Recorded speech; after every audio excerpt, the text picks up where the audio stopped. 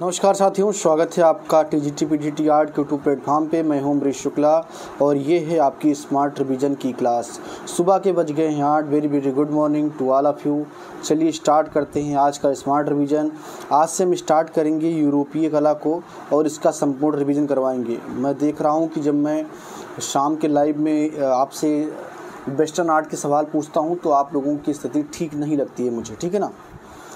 देखिए, इस रिवीजन का उद्देश्य सिर्फ़ रिवीजन है जिन्होंने कला की थ्योरी नहीं पढ़ा है, उनके लिए किसी काम का नहीं। तो जिन्होंने कला की थ्योरी नहीं पढ़ा है, पहले कला की थ्योरी अच्छे से पढ़ें, किताब से पढ़ें, अध्यापक से पढ़ें, किसी भी इंस्टीट्यूट से पढ़ें, लेकिन पढ़ें। अगर मेरे से पढ़ना है तो एक जून से मैंने एक नया बैच स्टार्ट किया है, आप उसको ज्वाइन कर सकते हैं। बैच को ज्वाइन करने के लिए आप मुझे फ़ोन कर लीजिए, छियानबे सोलह बयासी, छिहत्तर, छियालीस पर सारी जानकारी आपको दे दी जाएगी। इसके अलावा, हमारे नोट्स की बुकिंग स्टार्ट हो गई है। करीब हंड्रेड स्टूडेंट को नोट्स भेजे जा चुके हैं।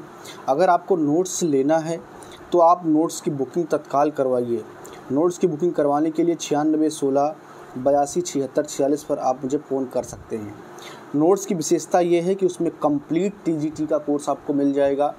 पूरा का पूरा नोट्स आपको एक साथ मिल जाएगा, जिसमें भारतीय चित्रकला का इतिहास, यूरोपीय चित्रकला का इतिहास, समकालीन कलाकार, इसके अलावा विविध जो है प्रश्नों को उसमें शामिल किया गया है।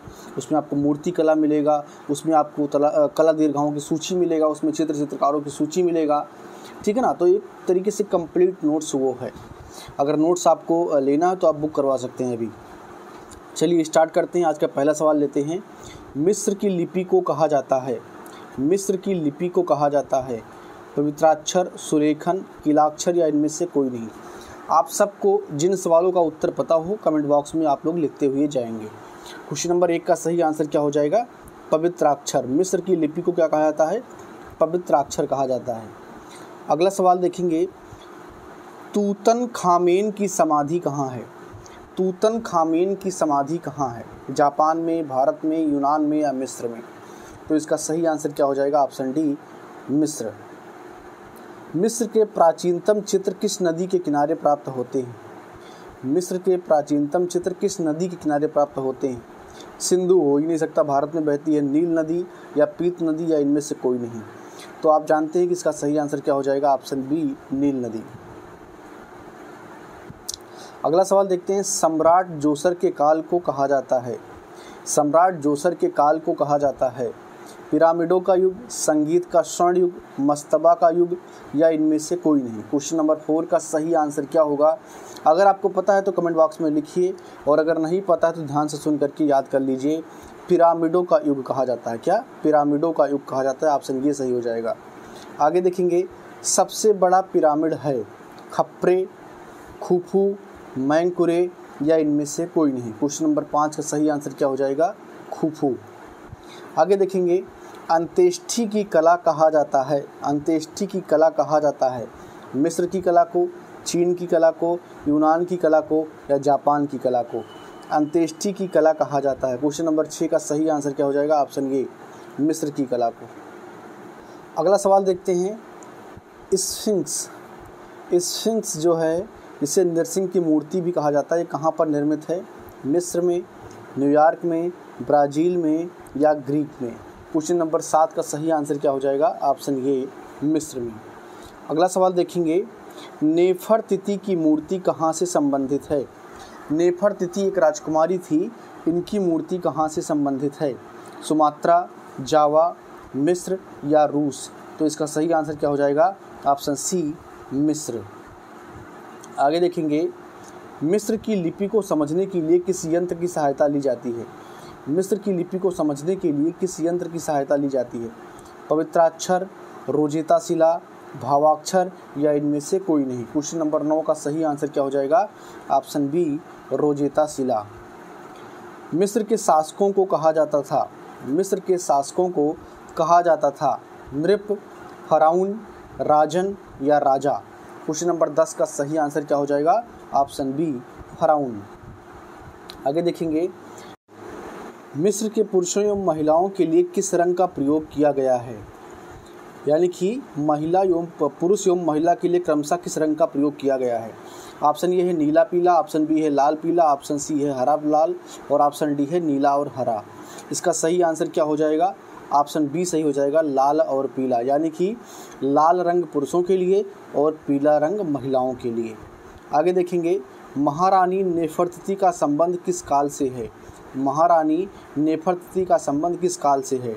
ओल्ड किंगडम से, न्यू किंगडम से, अंधकार युग से, या इनमें से कोई नहीं? क्वेश्चन नंबर बारह का सही आंसर क्या हो जाएगा? ऑप्शन बी, न्यू किंगडम से। आगे देखेंगे, बस्ट ऑफ़ नेफरतिथि कहाँ पर सुरक्षित है? बस्ट ऑफ़ नेफरतिथि कहाँ पर सुरक्षित है? बर्लिन में, रूस में, यूएसए में या जापान में? क्वेश्चन नंबर तेरह, और इसका सही आंसर क्या हो जाएगा? ऑप्शन ये बर्लिन। जिनका आंसर आपको पता है, आपको बताना है, और आखिर में ये भी बताना है कि आपको कितना आपको कितना पता था, यानी कितने सवाल आपके सही हुए। ठीक है ना? आगे देखेंगे, अमृत की कला किस देश की कला को कहा जाता है? अमृत की कला किस देश की कला को कहा जाता है? यूनान, मेसोपोटामिया यूएसए या मिस्र। अमृत की कला किस देश की कला को कहा जाता है? क्वेश्चन नंबर फोर्टीन का सही आंसर क्या हो जाएगा? ऑप्शन डी मिस्र की कला को। आगे देखेंगे, जिगुरत कहा जाता है। जिगुरत कहा जाता है। मस्जिद को, चर्च को, सीढ़ीदार मंदिर को या इनमें से कोई नहीं? क्वेश्चन नंबर पंद्रह का सही आंसर क्या हो जाएगा? ऑप्शन सी, सीढ़ीदार मंदिर को। तो जिगुरत एक प्रकार का मंदिर होता है, ठीक है ना? आगे देखेंगे झूलते हुए बाग का निर्माण किस शासक ने कराया था? झूलते हुए बाग का निर्माण किस शासक ने कराया था? तूतन खामेन अखनाटेन, नेफरतिथि या नेबुख दनेजर तो झूलते हुए बाग का निर्माण किस शासक ने करवाया था? क्वेश्चन नंबर सिक्सटीन, और इसका सही आंसर क्या हो जाएगा? ऑप्शन डी नेबुख दनेजर यानी कि जिसका नाम लेना सबसे कठिन है, वही सही। झूलते हुए बाग कहाँ पर स्थित हैं? बेबो बेबीलोनिया में, रूस में, गीजा में या जापान में? झूलते हुए बाग कहाँ पर स्थित हैं? क्वेश्चन नंबर सत्रह का सही आंसर क्या हो जाएगा? ऑप्शन ये बेबीलोनिया में। आगे देखेंगे, जिगुरत किसे कहा जाता है? अभी ऊपर आपने देखा कि वो एक प्रकार का मंदिर होता है। पर्यटक स्थल होगा नहीं, पूजा ग्रह जापान या गीजा। तो सही आंसर क्या हो जाएगा? ऑप्शन बी, पूजा ग्रह दजला और फरात नदियों के बीच में कौन सी सभ्यता विकसित हुई? दजला एवं फरात नदियों के बीच में कौन सी सभ्यता विकसित हुई? मिस्र की सभ्यता, यूनान की सभ्यता, या मेसोपोटामिया की सभ्यता, या चीन की सभ्यता? तो दजला और फरात नदियों के बीच में कौन सी सभ्यता विकसित हुई? बहुत ही सिंपल है, ऑप्शन यहाँ पर सी सही हो जाएगा, मेसोपोटामिया की सभ्यता। आगे देखेंगे, कुम्हार के चाक का प्रयोग सर्वप्रथम हुआ है। कुम्हार के चाक का, चाक मतलब जिस पर कुम्हार बर्तन बनाता है, ठीक है ना? कुम्हार के चाक का प्रयोग सर्वप्रथम हुआ है, चीन में, जावा में, सुमात्रा में या मेसोपोटामिया में। क्वेश्चन नंबर 20 का सही आंसर क्या हो जाएगा? Option D, Mesopotamia. आप लोग लाइक करते रहना, ठीक है ना? गुरुदक्षिणा आपकी लाइक ही है, क्योंकि ये सुबह वाली जो क्लास है एकदम फ्री होती है और रात नौ बजे वाली भी जो क्लास होती है, एकदम फ्री होती है। और गुरुदक्षिणा के बिना ज्ञान संपूर्ण नहीं होता और गुरुदक्षिणा आपका क्या है? आपका लाइक कमेंट और शेयर ठीक है ना? अगला सवाल देखेंगे। शीशे का सर्वप्रथम प्रयोग मिलता है। रूस में, मिस्र में, मेसोपोटामिया में या यूएसए में। शीशे का सर्वप्रथम प्रयोग मिलता है। क्वेश्चन नंबर ट्वेंटी वन का सही आंसर क्या हो जाएगा? ऑप्शन सी, मेसोपोटामिया में। आगे देखेंगे। क्रीटन माइसिनियन कला किस युग से संबंधित है? क्रीटन माइसिनियन कला किस युग से संबंधित है? क्वेश्चन नंबर ट्वेंटी टू का सही आंसर क्या हो जाएगा? ऑप्शन ये कांस युगीन से। ठीक है ना? आगे देखेंगे। लेखन पद्धति का विकास सर्वप्रथम कहाँ के निवासियों ने किया? लेखन पद्धति का विकास सर्वप्रथम कहाँ के निवासियों ने किया? यूनान, मिस्र, सुमेर या चीन? क्वेश्चन नंबर ट्वेंटी थ्री का सही आंसर क्या हो जाएगा? Option C, Sumer. आगे देखेंगे। लेमाशस किस सभ्यता में अंकित है? लेमाशस किस सभ्यता में अंकित है। चीनी, मिस्र, ग्रीक या Mesopotamia. Question number twenty four का सही आंसर क्या हो जाएगा? Option C, Greek. आगे देखेंगे, सिलेंडर सील का संबंध किस काल से है? सॉरी, किस कला से है? सिलेंडर सील का संबंध किस कला से है? मेसोपोटामिया से मार्शिनियन से, असीरिया से या इनमें से कोई नहीं? क्वेश्चन नंबर ट्वेंटी फाइव का सही आंसर क्या हो जाएगा? ऑप्शन ये मेसोपोटामिया से। आगे देखेंगे मानव मुख के साथ पंख धारण किए हुए सांड का चित्रण किस काल में हुआ है? मानव मुख के साथ पंख धारण किए हुए सांड का चित्रण किस कला में हुआ है? बार बार मैं काल बोल रहा हूँ। किस कला में हुआ है? क्रीटन माइसिनियन में? आ, क्रीट या क्रीट में या माइसिनियन में? असीरिया में या इनमें से कोई नहीं? क्रीट और माइसिनियन अलग है। तो ये पूछ रहा है कि किस कला में देखने को मिलता है? क्वेश्चन नंबर ट्वेंटी सिक्स का सही आंसर क्या हो जाएगा? ऑप्शन सी सही हो जाएगा असीरिया की कला में।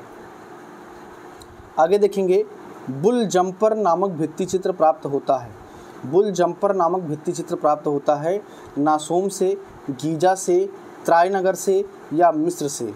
बुल जम्पर नामक भित्ति चित्र प्राप्त होता है। क्वेश्चन नंबर ट्वेंटी सेवन का सही आंसर क्या हो जाएगा? ऑप्शन ये नासोम से। आगे देखेंगे, होमर द्वारा रचित पुस्तक है। इलियड, मृतकों की पुस्तक, डिवाइन कामेडी या इनमें से कोई नहीं। क्वेश्चन नंबर ट्वेंटी एट का सही आंसर क्या हो जाएगा? ऑप्शन ये इलियड। आगे देखेंगे, मेसोपोटामिया का इतिहास किसने लिखा? होमर ने, बेरोसोस ने, हेनरी रालिंसन ने, या इनमें से कोई नहीं? Question number twenty nine, Mesopotamia का इतिहास किसने लिखा? Question number nine twenty nine का सही आंसर क्या हो जाएगा? ऑप्शन यहाँ पर बी सही हो जाएगा, बेरोसस ने। बेरोसोस ने या बेरोसस ने? ठीक है ना? तो मेसोपोटामिया का इतिहास किसने लिखा? बेरोसोस ने। आगे देखेंगे क्वेश्चन नंबर थर्टी, विश्व में वर्णमाला का प्रयोग सर्वप्रथम हुआ। बेरोसस के द्वारा फिनिशिया में, या त्रायनगर में, या मिस्र में? विश्व में वर्णमाला का प्रयोग सर्वप्रथम हुआ। क्वेश्चन नंबर थर्टी का सही आंसर क्या हो जाएगा? फिनिशिया में। ठीक है ना? आगे देखेंगे, और आज का आखिरी सवाल है ये। मिस्र की प्रथम भवन निर्माण कला कितनी पुरानी है? मिस्र की प्रथम भवन निर्माण कला कितनी पुरानी है? तीन हज़ार बीसी पूर्व पाँच हज़ार बीसी, एक हज़ार पंचानवे बीसी या पच्चीस सौ बीसी। तो इसका सही आंसर क्या हो जाएगा? तीन हज़ार बीसी। यानी कि ईसा मसीह के जन्म लेने के तीन हज़ार वर्ष पूर्व की ये बात है। तो इस प्रकार आज हमने थर्टी वन प्रश्न आपको करवाया। ये सिलसिला लगातार जारी रहेगा। आप लोग सुबह आठ बजे की क्लास और रात नौ बजे की क्लास ज़रूर देखिए। ये बहुत ही इंपॉर्टेंट है। ये एग्ज़ाम तक ऐसे ही चलते रहेंगे। यहाँ पर मैं एक चीज़ कन्फर्म कर दूँ कि अगर आपको एक जून वाली बैच ज्वाइन करनी है, जो कि भी एक जून से स्टार्ट हुआ है, या आपको नोट्स बुक करना है तो आप मुझे फ़ोन कर सकते हैं छियानबे सोलह, बयासी, छिहत्तर, छियालीस पर। संपूर्ण जानकारी आपको दे दी जाएगी। बहुत बहुत धन्यवाद।